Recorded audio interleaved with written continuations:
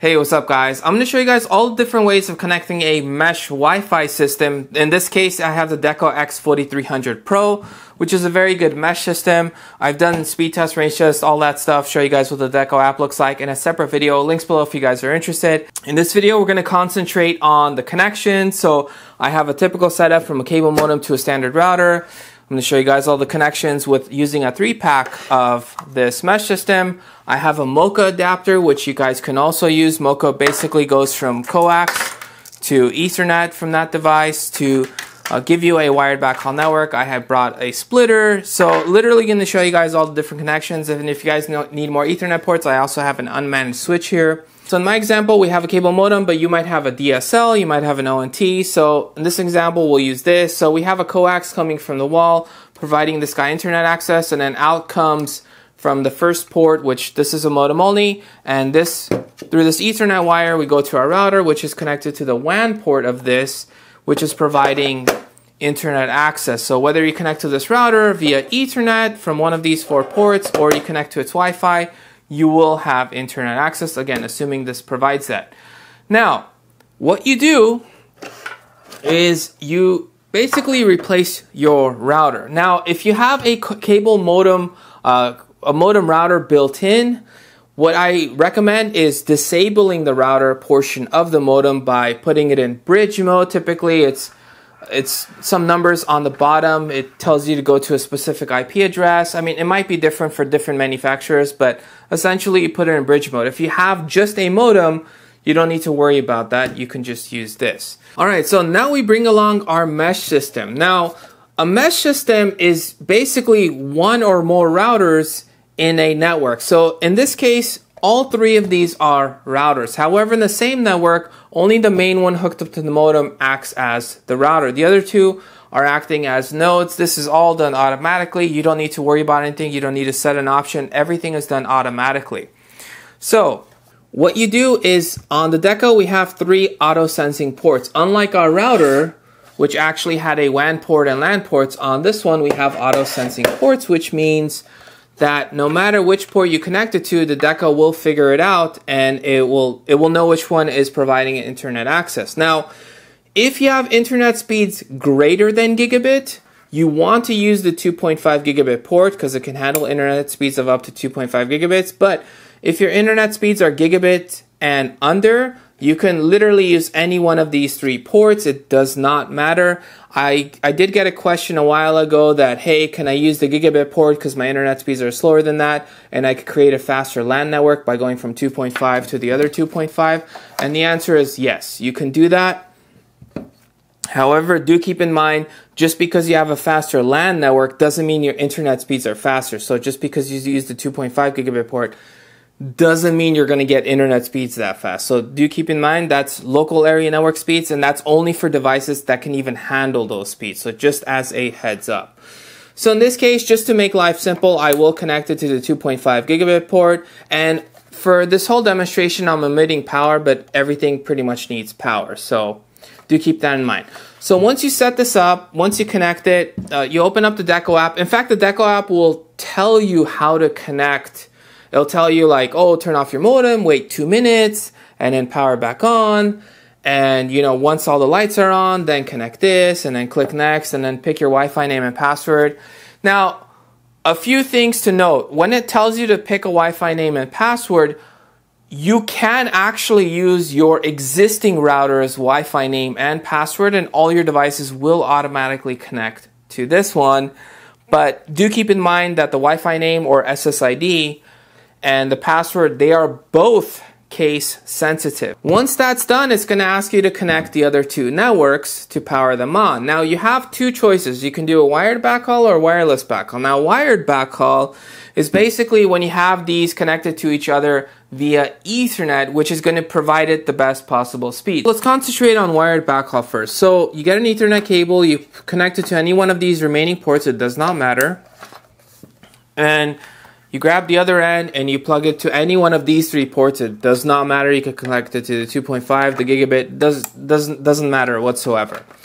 So once you do this, you have an Ethernet cable going from the main one to the secondary one, and now you've created a wired backhaul network. So the advantage of wired backhaul is you're going to get consistent speeds no, no matter if you're near the main one or near the secondary one, assuming your internet speeds are less than gigabit. Because if it was faster than gigabit and you use this port, as soon as you come out of this port, it doesn't matter if you go into the 2.5 this one, it doesn't matter because as soon as you go out of this port, you're capped to gigabit speeds. And the cable also matters as well. So if you're using a Cat5e, now in this demonstration, these cables happen to be Cat5e, but for my network, for my main network, I use Cat7 and Cat8 cables, which can handle up to 10 gigabit speeds.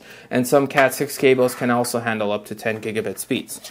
So once you do this, if, if you come near this guy, this one, you do a speed test, you're going to get full speeds. You get near this one, let's say two or three rooms away, do a speed test, you're going to get full speeds. Doesn't matter where you are. So, which makes it amazing. And to add a third one, you basically just pick any one of these two ports. It doesn't matter. You could go from the 2.5 um, to, it doesn't matter at all. You could connect it to the 2.5, this one, and boom. If you've positioned this ideally in your home, not too close to each other, no matter where you go, I mean, depend if you're not living in a mansion basically, but if you're living in a normal home, no matter where you go, you're going to get very good speeds, you're going to get very good coverage. So overall, this is the beauty of a mesh system.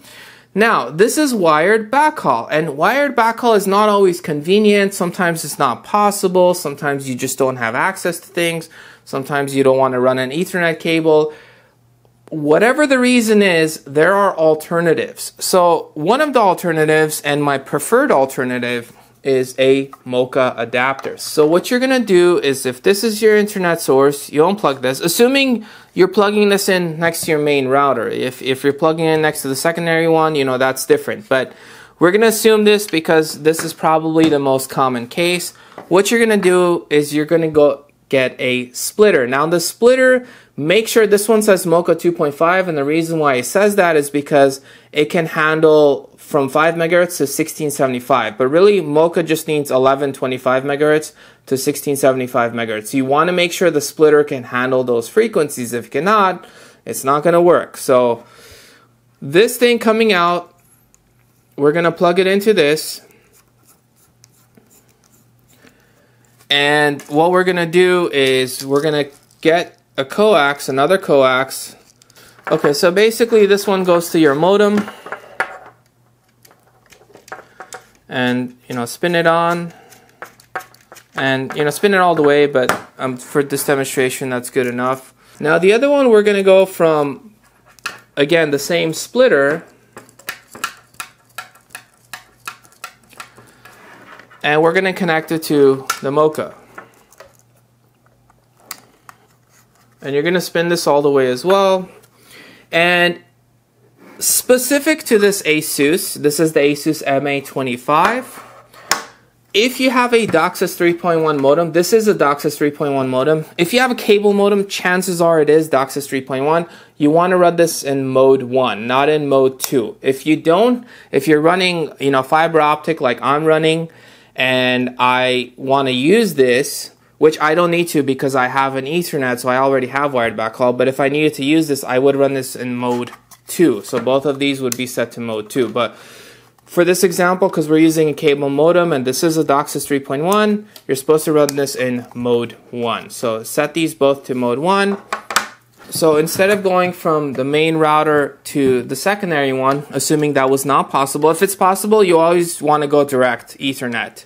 You can also go through an unmanaged switch as well. I'll show you guys that as well. But in this case, if that's, you know, you can't run Ethernet, what you want to do is you want to come and you want to connect it to this. So what this is doing is we have our cable modem so we have our source coming in, going to our cable modem, and then we have the other one going to this. And the cable modem is hooked up via Ethernet to this deco, and then from this deco, and it doesn't matter again, doesn't matter which port you're using. And this is a MoCA 2.5, so it can actually handle internet speeds of up to 2.5 gigabits, assuming your cabling in your walls can handle it, and your cables itself can handle those speeds. So that all matters. So once you do that, you plug this Ethernet to this guy, and then from this guy, it will literally, you know, just go back through your walls, and then from the other side of your wall, let's say, you know, two or three rooms away, you find another coax port and you plug this in. And if you guys are wondering, this MPS button is if you have more than one MoCA adapter and you want to have them on different security settings and stuff. So I'm to omit that for this video. So we're just to use these two. So, and then boom, out comes this.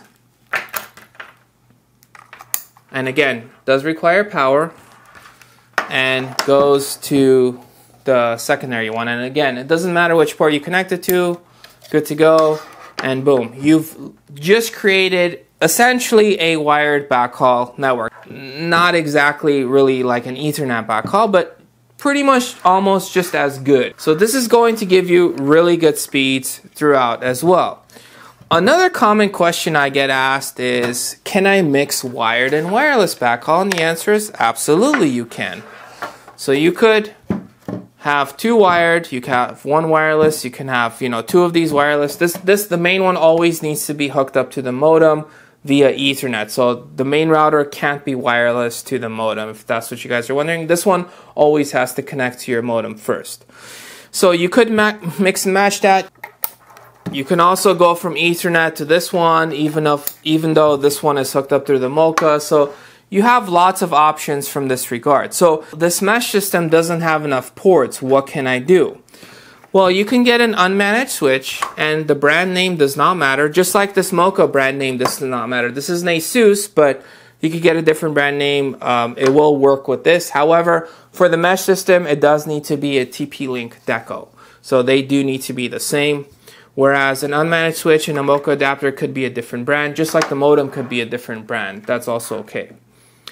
Now, you could get an unmanaged switch, and this one is an 8 port. They have, you know, different sizes. They have a 4 port, 5 port, the 8, 16, 24, 32, 48, and a lot bigger than that. So 8 is pretty common, 16 is also pretty common as well. So if you get an 8 port, doesn't matter. You can use any of the ports you want. And you could connect this to any system you want, really. You could go from the main one you could go from the main one. If you connect it to the main one, you can use seven other ports. There is no setting you need to set. Um, you can connect this to the last one, you can connect it to the middle one, and now you have seven other usable ports. You could connect your PlayStation, your Nintendo, your computer, your, you know, whatever you want to connect to this. It's literally just like connecting it to this guy or this guy or this guy. And another question I get asked is, you know, can I go from Ethernet? So before I go to this MoCA, can I go from this to this and then go from this to the MoCA? And the answer is yes, you can do that. You can also go, another question I get asked is, okay, well, let's say my third node is wireless backhaul can I connect devices to this one? And the answer is yes. So you can hook up your computer to this. That will also work fine, even though this is wirelessly talking to the secondary one or the primary one. You can connect the switch to any one of these ports, even though this is on wireless backhaul. And, you know, if you want to connect this to your computer, boom, connect it to your computer and you're golden. Do keep in mind though, if you connect your unmanaged switch to a node that's on wireless backhaul, you're not going to get the best possible speeds. So just keep that in mind. you you typically get the best possible speeds when it's a wired backhaul network. So with this, hopefully that answered all the questions. If you guys have an additional questions, let me know in the comment sections below. And as always, smash that subscribe button. I'll catch you guys in the next one.